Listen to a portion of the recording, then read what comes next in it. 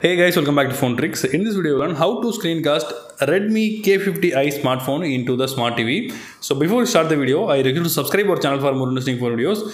First of all, we need to open the notification panel or quick panel. Then swipe left, you can find the option called cast. So in the Xiaomi or Redmi TVs, you can find the app called Miracast. You need to open that. Now you need to click on the cast button you can see the android tv is available here. You need to click on that. Wait for a few seconds. Now the phone screen is displayed into the tv so it's a very useful one.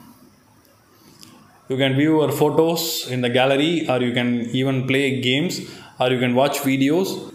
Anything you want you can do with the big screen so somebody asked uh, if we don't have Xiaomi TV, what can what we can do? So there is a second option. So without Xiaomi TV, we can do the screencast by going to the settings, then open connection and sharing, then swipe up. You can see the option called wireless display. Open that. Now you can see the TV option available. You need to click on that then choose start now. So for this you need to connect the phone and uh, tv on the same wi-fi.